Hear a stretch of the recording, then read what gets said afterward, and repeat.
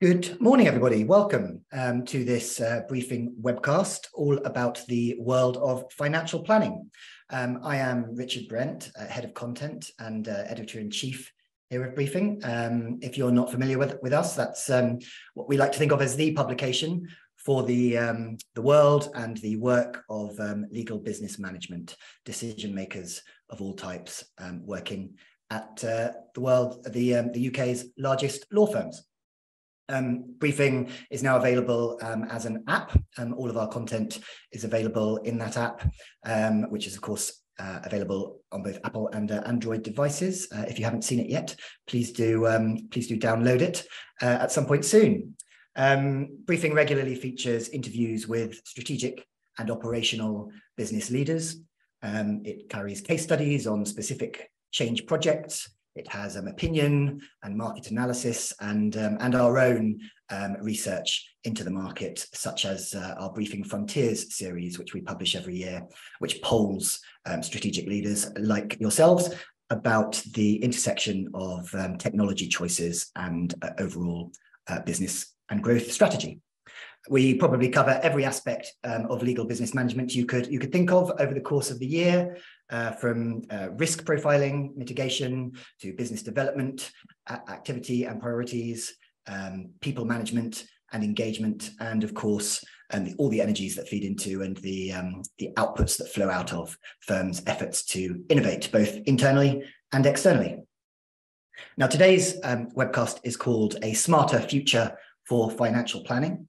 And we have case studies and a conversation with key people at two firms that have um, invested uh, significantly recently to change how business ties financial management today to longer term strategic planning and thinking. Um, understanding and communicating the, um, the, the impact of decisions about where and how work is resourced, for example, and staying agile enough to be able to respond to changing market conditions and demands and protect profitability while simultaneously streamlining, maybe even transforming client service in line with clients' um, evolving needs and expectations. And, and, I'm pleased to say that our session um, today is in partnership with ClearPlan. Um, as you can see, uh, ClearPlan is the only dedicated partner of um, Workday Adaptive Planning in the UK. Uh, they implement analytics solutions for um, existing and new users of Adaptive. That's cloud-based planning, budgeting, and for, uh, forecasting tools, enabling businesses to plan with greater agility for multiple different scenarios. Um, the team helps chief financial officers and other finance professionals to deliver reporting insights across the organization. Um, and in doing so can reduce budgeting time, um, make forecasting more accurate, and also um, increase profitability while managing workforce planning. Um, I'm going to introduce the, uh, the speakers who I'm going to be talking to um, in a little moment. Uh, just a reminder before I do so that the, um, the whole hour is being recorded and will be distributed to um, our briefing audience um, a little later. We, we also have plenty of time for you to ask questions based on what you hear, or indeed to um, to make your own comments, to provide your own perspectives. And you can do this as usual in the um, in the chat at the bottom of the screen here in the Q and A. Um, I will um, be monitoring those questions and um, and filtering them through to to my guests. Um, and of course, if you want to um, ask a question live, you're more than welcome to to come off mute and and do that and, and speak to us today. Uh, just uh, make yourself known if, if that is something that you would like to do. Um, we like these to be as um, as interactive and organic as possible. These conversations, so so um, don't be shy. Do um, do speak up and uh, have your say. Um, so, without further ado, uh, I'm going to welcome my first guest, and um, he is Andrew Brett, and uh, Andrew is the Group Reporting and Accounting Manager at the law firm Pinsent Masons. Hi, hi, hi Andrew. Hi, thanks, Richard, and uh, good morning to everybody. Hi. Thanks for thanks for joining us, Andrew. Um, so uh, we're we're talking about um, a a new uh, tool that you um, have implemented and the rationale for um, for doing that from a financial management perspective. So so first of all, what was the um, the trigger within Pinsent Masons for you and your your team, or the um, you know financial leadership at Pinsent Masons for realizing you needed a new approach to financial planning?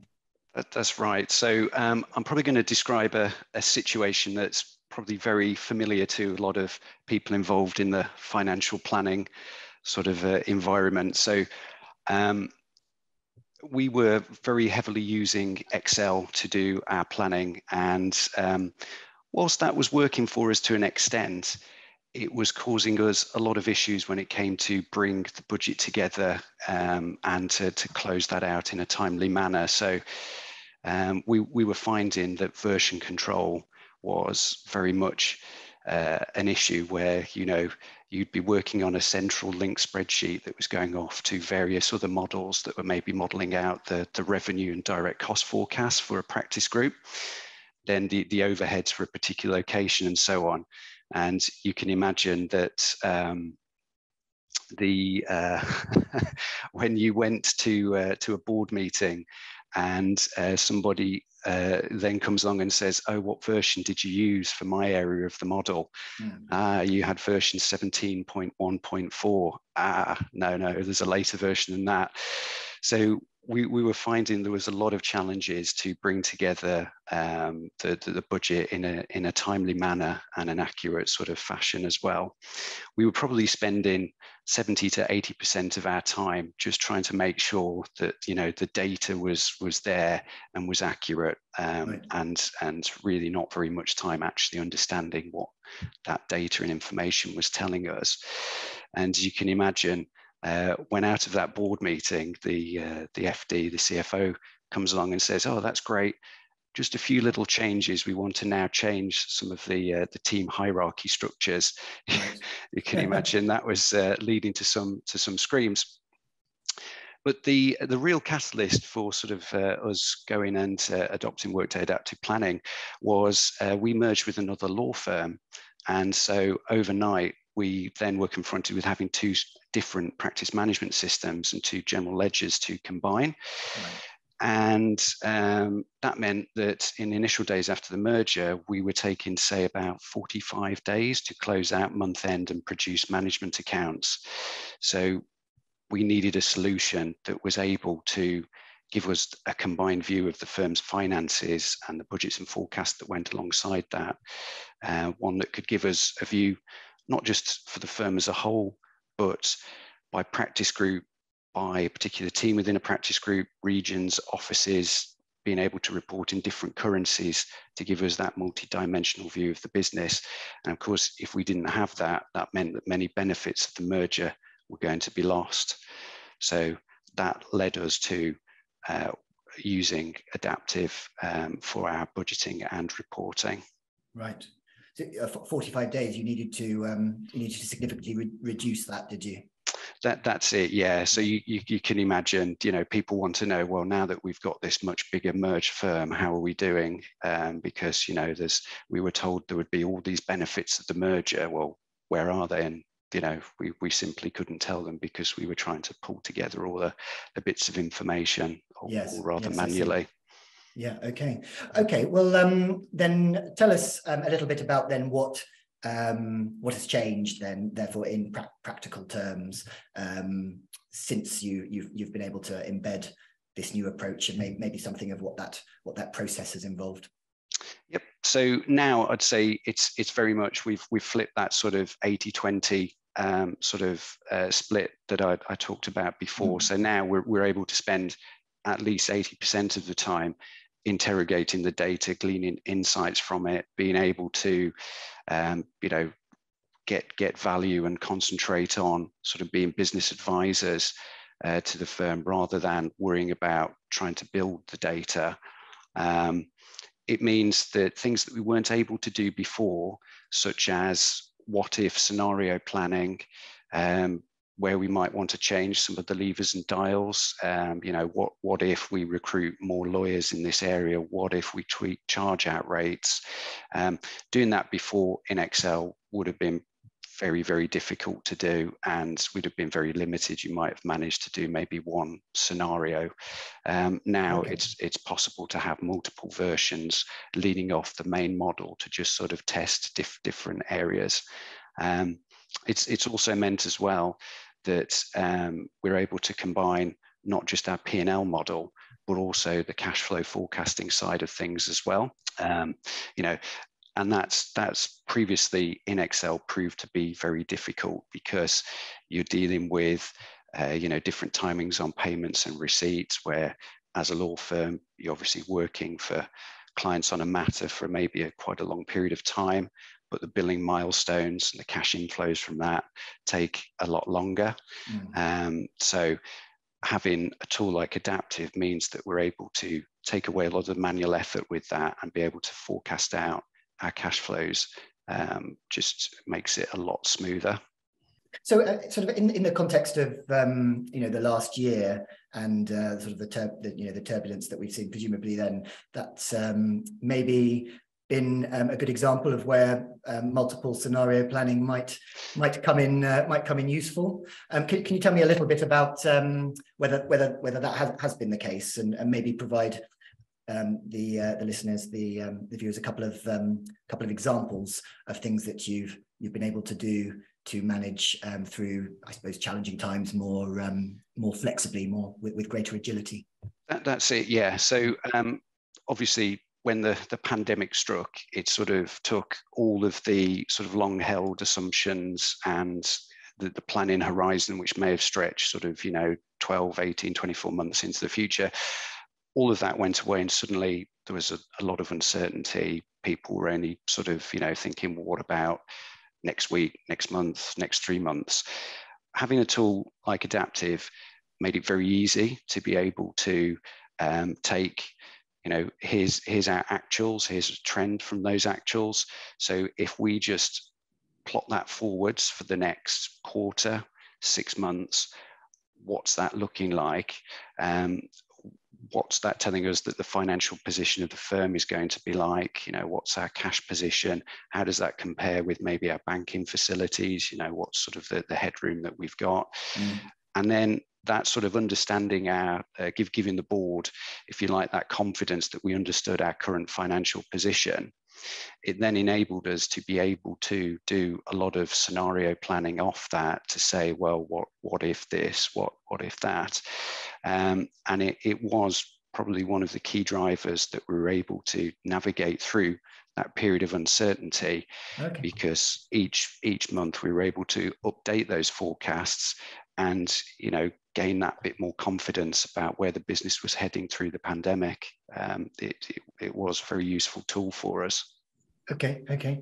And is and also within the um, the current economic backdrop is that is that also something that uh, that that is helping you to to navigate uh, differently to how you would have done in the past that, that's it, yeah. So um, it's a very scalable tool. So when uh, you know our business is expanding, particularly internationally, so whenever we go into a new region, looking at opening a new office, the tool's very good at being able to scale to, you know, if we're bringing a new currency into the model, it's very easy to to to bring that in if you're adding teams or new structures into the hierarchy again it's it's very scalable to be able to do that and that's that's again that level of flexibility is is something that just just wasn't there in excel right. um of course the other thing as well is again in excel the you spend all your time trying to get an annual budget figure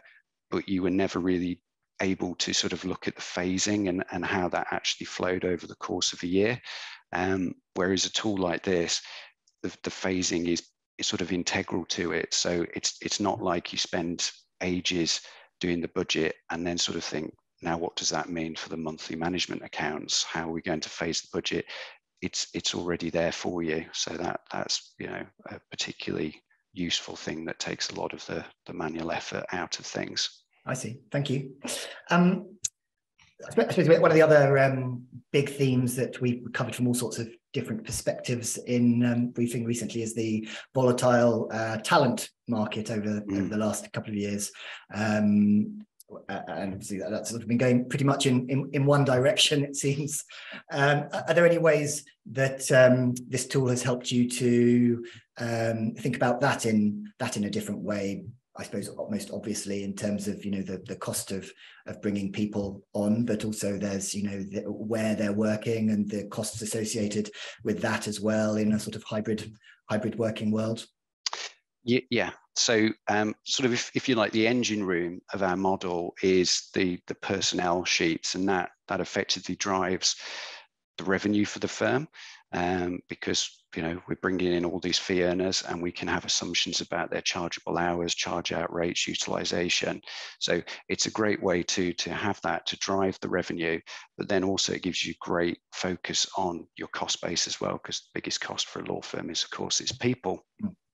so all of that is effectively captured in in one or two sheets where all that data is loaded in. So we're sort of starting the process uh, kicking off with HR, we bring all that data in.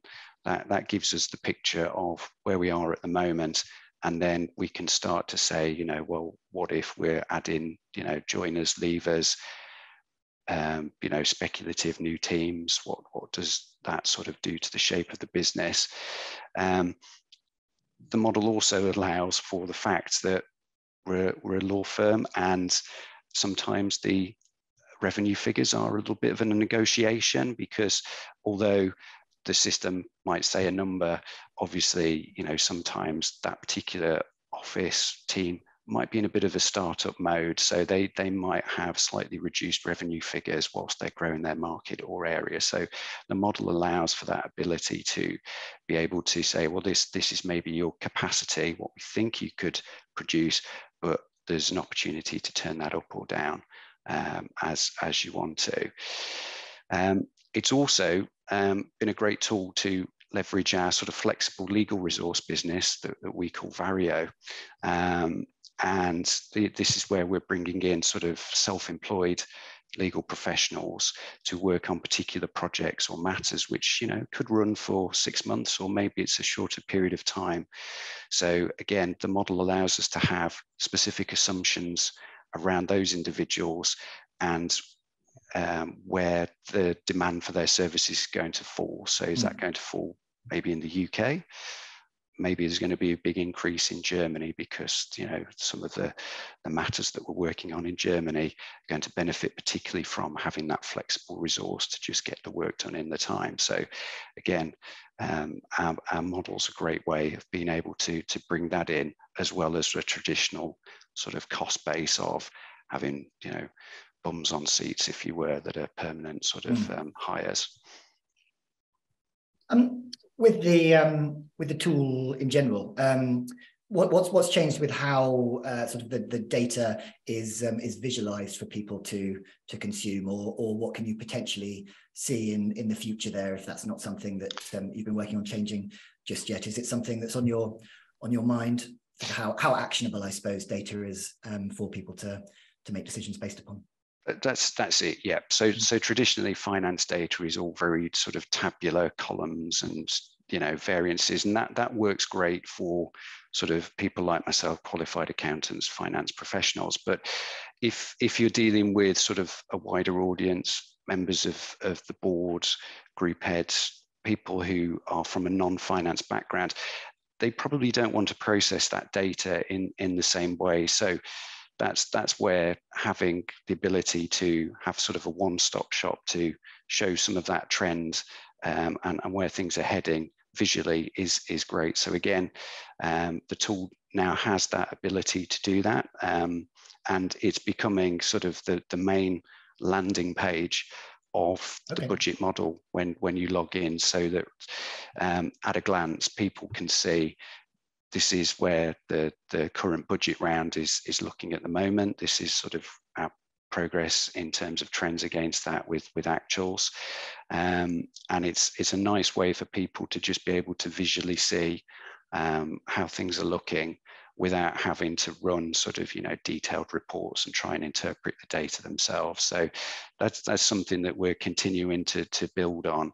Um, and it's it's also sort of part of a, a, wider project that I'm, I'm working on with our financial systems team that um, we're looking to sort of leverage a lot of the visualization capabilities to be able to explain our data more visually to, to people in the firm because um, you know it can it, showing things as a trend over time can reveal things to you that's trying to show that in uh, you know a sort of a tabular Excel Columns, spreadsheet. Yeah, yeah mm-hmm. it's it's it, you know it gets the message across a lot better. Picture says a thousand words, and in sort of a you know, as our business gains more complexity, more sort of offices and so on, being able to surface the trends and KPIs that really matter is is you know it's it's a hot topic at the moment for us. And you're also looking at tailoring um, those, I think, in terms of um, you know what individuals need need to see, so they're not it's not sort of they're not sort of swamped in in data. Uh, exactly. Yeah. yeah. yeah. So again, um, you know, having the ability to um, tailor out and have access rights to it so that people see the data that they need to see they don't see things which um, you know they show them the staff entertaining budget visualized they could get very uh, very obsessed about that but you don't necessarily want them to see that yeah. Yeah. Okay um so uh, you, you, mentioned um, at the start um, you know that this uh, sort of switched the amount of time that you know you're spending doing uh, uh, it reversed mm. the the, um, the variable amount of time you were doing on sort of more value added work mm. and more manual more manual work within the within the finance team. Um, can you give us tell, tell us a little more about what the um, what that what that workload that role for um, for a finance professional now looks like and how that's different um, to what it would have been before? Um, how, how to what extent has it has it reshaped the work of finance in Pinsent Masons? Yep. So I think we've gone from being just, if you like, scorekeepers to now being sort of trusted business advisors and doing a much more business partnering role. So um, we've gone from just spending all the time um, trying to, to gather the data and making sure the data is accurate to now that side of things is done very quickly after each month end. Now it's all about um, you know gaining insight from that data. So you know all that extra time means that we can spend um, time analysing and supporting teams who are working on projects, investments, um, you know, supporting, say, we've we've recently opened offices in the Netherlands and Luxembourg. So again, being able to have that time to support those local partners to help them understand, um, you know, the key drivers for the business um, and you know the areas that um, you know they can you know, go away and try and grow their legal practice into. All that is time that we simply didn't have before. Mm. So having a tool that enables us to just wrap up very quickly um, the sort of data collection side of things just then means that we've got all this extra time to be able to be gaining insight and you know using that to the benefit of the business. I see. Okay. And in summary, can you tell us, um, you know, how you um, how you've measured the return on this this particular investment, if indeed you, you've, you've you've sort of done that officially, formally? Yeah, I mean we've um, we've not sort of sat down and sort of you know worked out the exact numbers. It's because we we felt that we, we haven't needed to because the return has been so apparent to us. Um, you know, it's, it's been repaid many times over. The fact that um, sort of the, the the headcount in the team um, that have been produced in the budgets and management accounts has been able to stay static over a long period of time, it's because now we've got the tools that do all the heavy lifting for us. We don't need people to be, you know, trying to gather data or do lots of manual adjustments to Excel sheets and so on. All that's done for us. So the return has been, you know, it's very easy to see that, you know, we've been closing the month end probably within three days now, as opposed to taking the best part of 20 days. Budget process used to run for at least six months. So we'd be in the position where we were entering the new financial year. The budget wouldn't really be finished, we'd still be tinkering with it. Now the budget is closed off, you know, in less than half that time. Um, and not only that, but it enables us to do lots of, um, you know, different versions of the budget for people if they want it. You know, ex- you know, what if the exchange rates move by a certain percentage and so on. Um, so yeah, the, the the return has been, you know, has has been massive for us. Absolutely. Fantastic. Okay, um, and and finally, any um, any future plans for for where this could go, where this could go next? Um, we've already already talked obviously about your your project to um, to investigate um, you know, data data visual, visualization. Mm. Um, anything else that um, that the tool has or or might have in future that um, you're particularly excited about? Yeah, so I think I think there's there's there's two areas. It's continuing to leverage and grow the workforce planning side of the tool um, to to be able to take that to the next level and start mapping sort of our, our legal skills into it. So um, to, to highlight where you know not only the seniority of, of the lawyers in a particular location, but the actual skills that they have, um, so that we can see, you know, maybe, you know, we've got a great sort of uh, strength in depth in a particular area, but we know that we might need to to, to grow that in, in in some other areas. Um, secondly, as well, the tool has got these great machine learning capabilities. So it has the capability to be able to um, look at your predictions and forecasts and um, say whether or not it thinks that they're within tolerance and that's an area that we want to sort of progress. So it's it's a great way to be able to to use it to sort of feedback into the model. So it can sort of challenge areas where it says oh that looks like a bit of an outlier compared to historic trends and and so on. So again using those tools will enable the model to get even better to be able to you know constantly refresh things okay thank you very much thank you andrew um yep. going to bring you back um a little a little later on because we do have some time for q&a um at at the end and uh, i'm now joined by um, greg bowie who is head of business analysis at Brodies um, and we're going to be talking about um, one of one of his uh, projects, or actually a couple of couple of different projects, but they're uh, they're connected. Um, Greg, so um, to to start off with, um, let's sort of talk about the the macro picture. Um, uh, uh law firms, I think overall, UK uh, law firms have have have done quite well on the profitability front over over the last couple of years. I think I saw in PwC's latest report, at least um, at least two thirds of firms have seen profitability profitability growth. They say, but it's always um, a, a, priority, isn't it? Profitability improvement or protection, always on the radar for firms.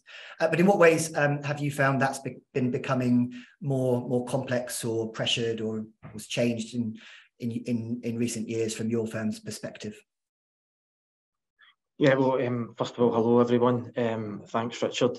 Yeah, I think that uh, the, the more granular side of the profitability. I mean, obviously at the, the kind of group level, you know, the um, you know, as you say, the PwC report, law firms do enjoy profitability, but getting into the detail of that in terms of um, obviously the, some of the cost pressures that we're seeing, you know, through recruitment and retention, and also cost pressures associated with, you know, pricing competition. I mean, these kind of things are meaning that we want to maintain and improve profitability and keep that um, in our focus going forward.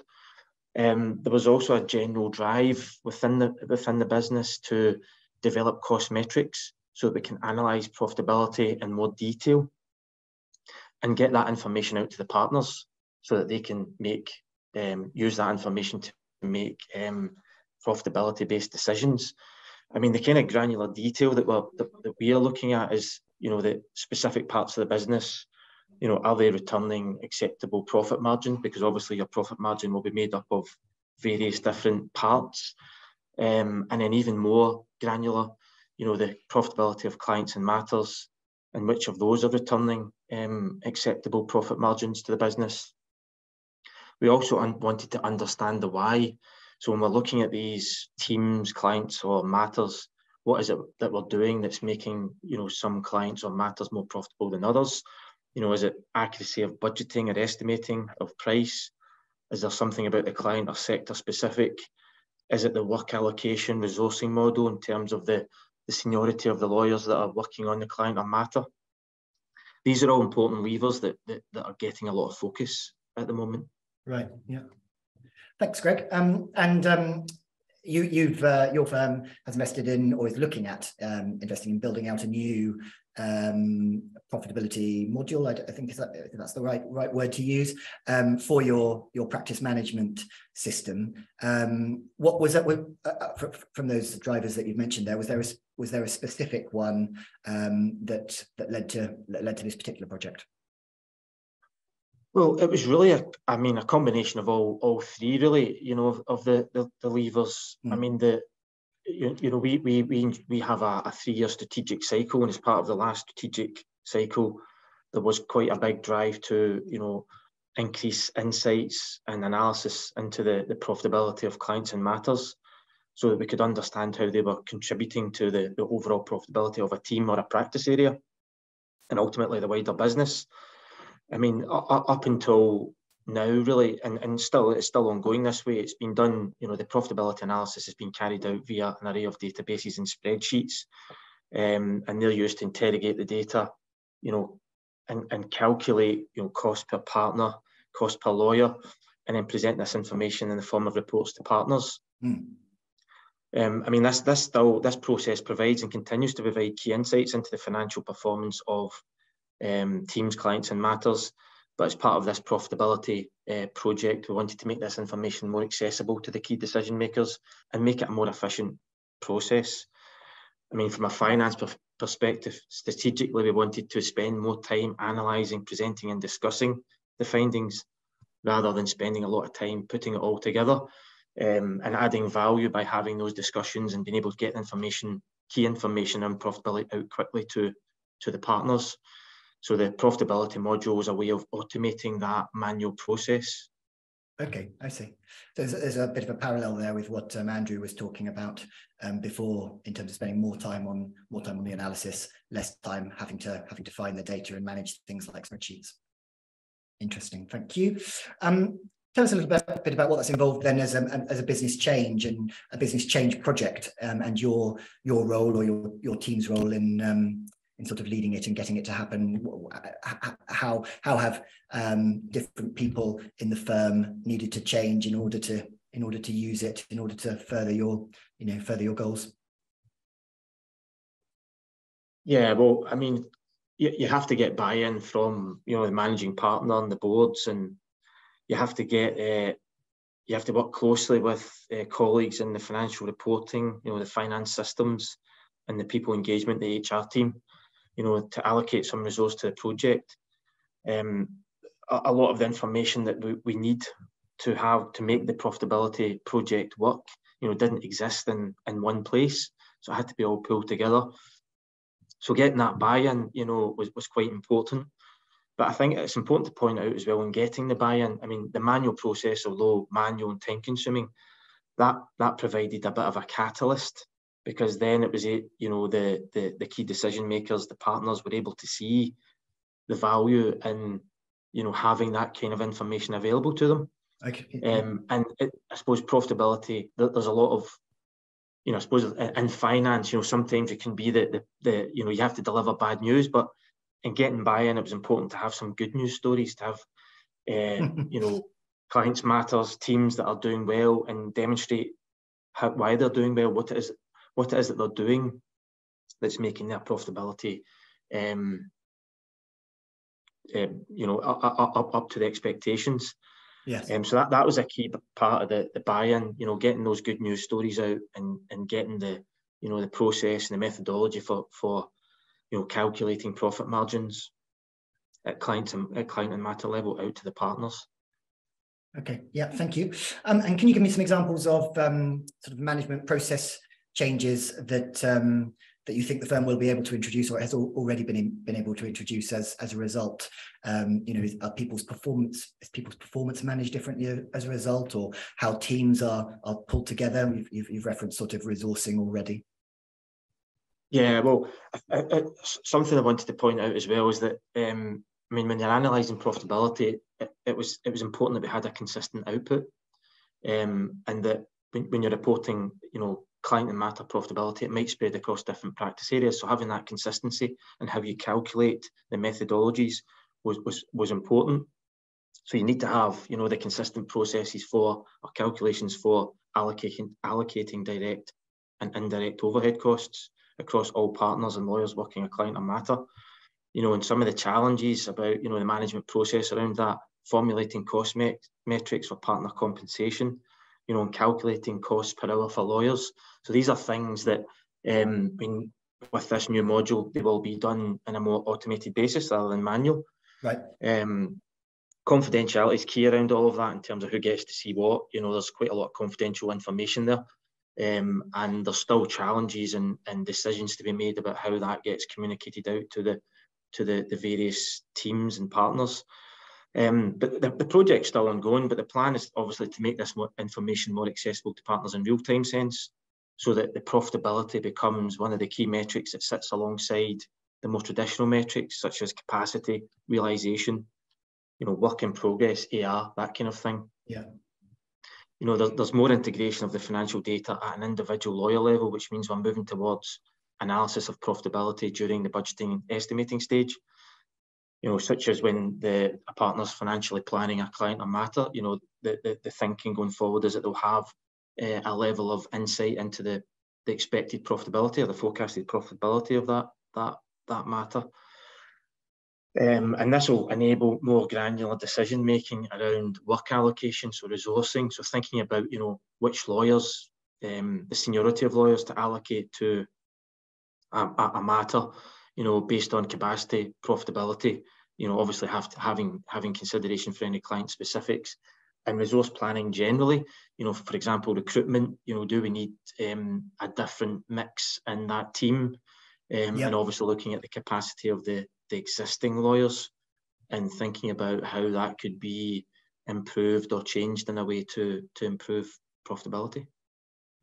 Oh, really interesting. Thank you. Thank you, Greg. Um, we're going to put the same same question to you as, as I did to Andrew. Um, does the way that um, that your team or um, other people in the finance team work um, is that now is that now different day to day as a result of this? Can you give me a sense of how that's changed the workload, or indeed, I suppose, even the structure of the um, of the finance team and how it works with with other groups around the firm, or if that's on the agenda? Yeah, well, yeah, I mean, I mean, as I said earlier, there, there, was quite a lot of work in the manual side of calculating this uh, the profitability. Yeah. So, um, I mean, now that that will be automated and that that's obviously going to um, make quite a big difference to, to your day-to-day job. You know, you will be spending more time with um, the, the, the, discussion, the analysis side of it, rather than calculating the data.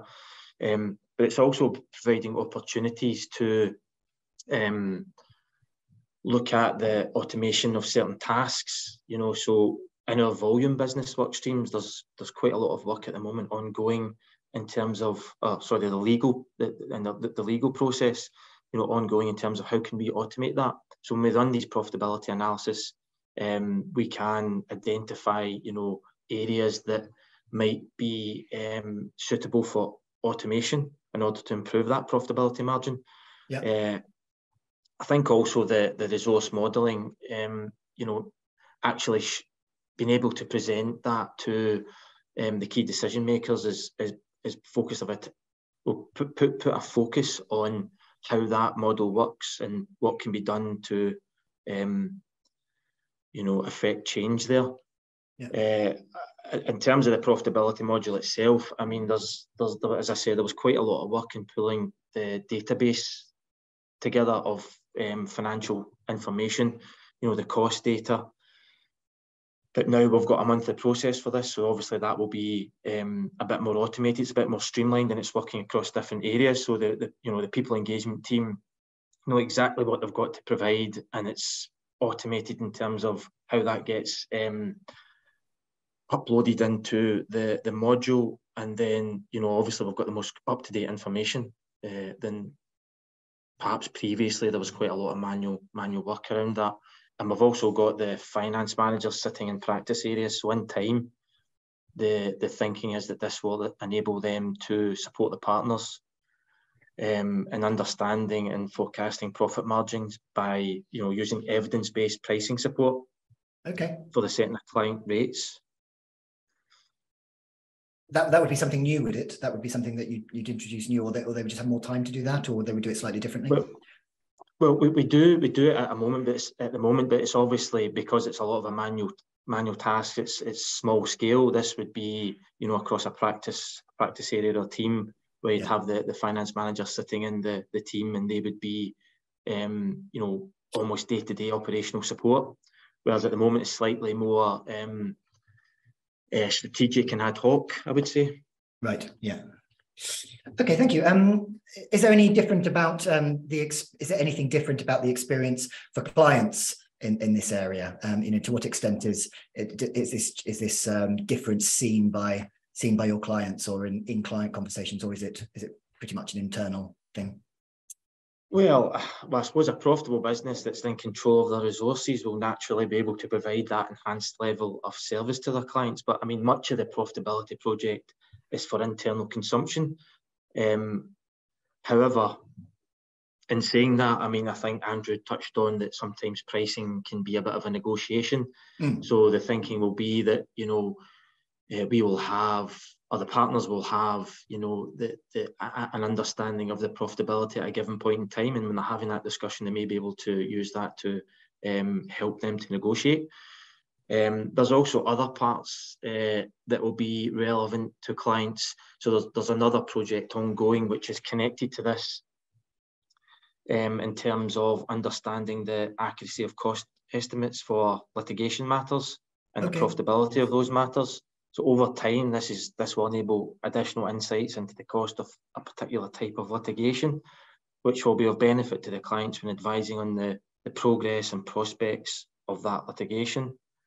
Um, there's also the, the granular decision making around resource allocation, and that will help to, to keep to budget estimates and manage profitability, which ultimately will be uh, something that um, will be helpful to clients if we're able to um, resource accordingly to keep to a, a, budget estimate. I see. Thank you. And um, finally, before I bring the others back, um, are there any other um, factors, pressures that we haven't touched on as yet that are sort of particularly high on your own your own radar as opportunities or risks? Yeah, well, uh, forecasting is is getting quite a bit of focus at the moment. So this is, you know, taking the analysis of the profitability the resource allocation model and forecasting revenue uh, and future profitability. So this would be a, a team or maybe a group of clients level where we're looking at a sector. You know, we're thinking about a sector of clients um, and building in those those levers into that. So this was this involves working with the partners to design a financial model that can be monitored and reported on. Um, there's obviously a pressure on pricing and rates. Yeah. Um, so that that you know we're working with the partners to highlight existing client profitability, and then designing the work allocation model uh, and modelling pricing and rates to achieve acceptable levels of profitability. And then I think, and, and, and similar to, to Andrew, you know, that uh, increasing the, the reporting and the representation of the data in a more graphical format, so that rather than you know lines of of um, financial information, the key data is pulled out uh, and presented in a graphical format that can be easily digested and understood. Great, thank you, Greg. Um, lots to lots to think about there, and um, and now we're going to um, have um, some time for some some more conversation based on on what what I've heard. Um, so I'm going to um, welcome back Andrew, as uh, as well as Mohamed Jaffer, who is a director at at ClearPlan, who um, the business who was um, working with Andrew, of course, on on getting his project um, off the ground. And um, and into the future. So we, we have had a couple of a couple of questions already. a reminder: do um, do put your questions in the in the Q and A at the bottom of the um, at the bottom of the screen, and I will I will feed them through into into the conversation that we're now going to have for the remaining remainder of the time. And we have a couple already. Um, so uh, this one is uh, for you, Andrew, um, based on what you had to say. Um, does the tool um, include functional any functionalities that, for example, Minitab, and I, I, have to say I don't know what Minitab is, so I hope, I hope you might, um, that, that that has, e.g., for example, produce control charts or hypothesis testing. Um, yeah, so I think I think Minitab is like a st statistical tool.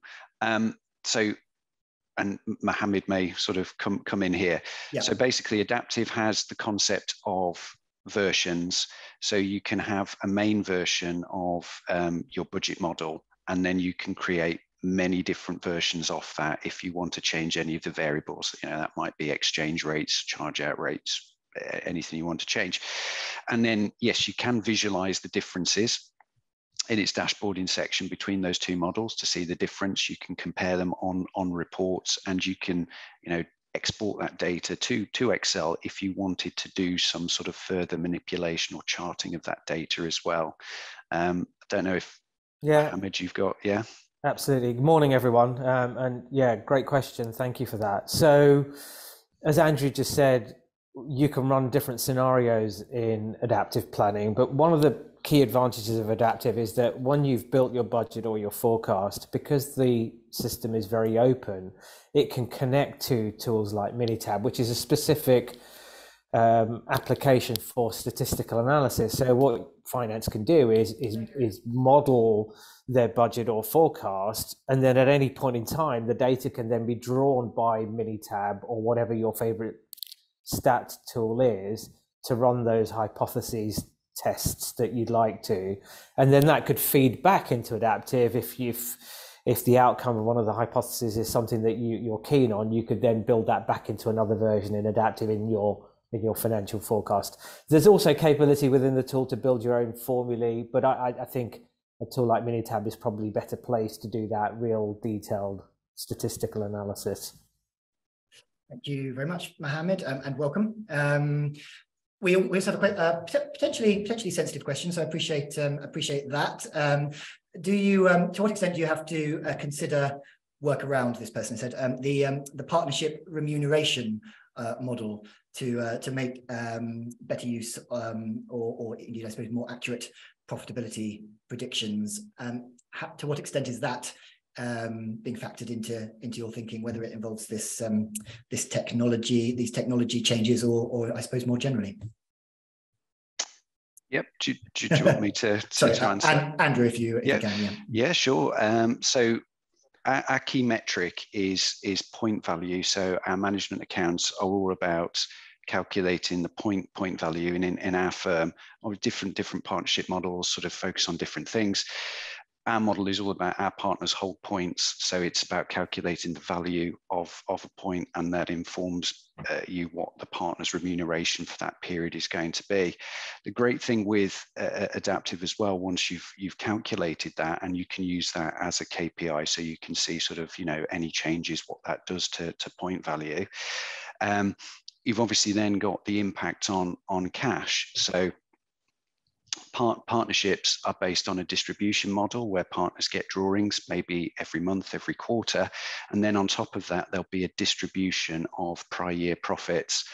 Um, and that distribution might be linked to the achievement of certain targets in the current year around billings and uh, cash collection. So having a tool like Adaptive means that you can you can model your base case that you know everything gets paid out as it should be in line with your sort of uh, partnership distribution schedule, and then you can see but but what if you know your uh, cash receipts get delayed, so your payment profile shifts and everything sort of moves along, and you can see what that does to it. So yeah, it, it absolutely works with a partnership model, and it's been very flexible for that. Great, thank you, Andrew. Uh, Greg, have you got um, something to add on that? Yeah, I mean, well, we had to, uh, we have agreed uh, numbers that, that are used for the the you know the, the partners, if you like um, and that, that obviously had to be agreed at the, the, the board level.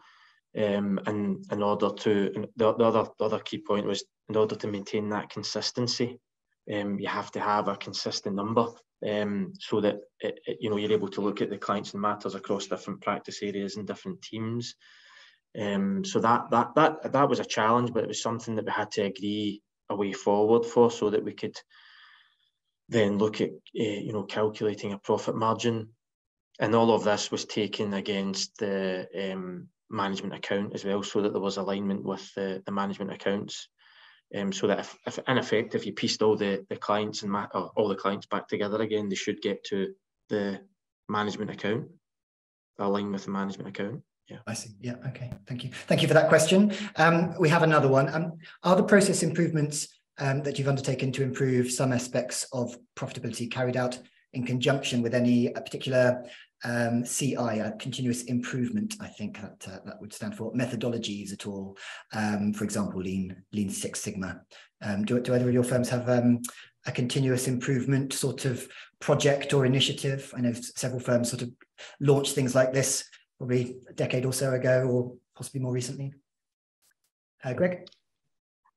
Um, I mean, not not specifically, you know, those those models. I wouldn't say. I mean, there's obviously the continuous improvement of. Uh, I mean, obviously the profitability is about profit margin, so mm. it's about maintaining that and improving it wherever possible. Um, I mean, will be as I say, there's some, you know, some areas of the business um, perform better than others, and the, the continuous improvement is getting those that are perhaps not um, performing as well up to a required standard.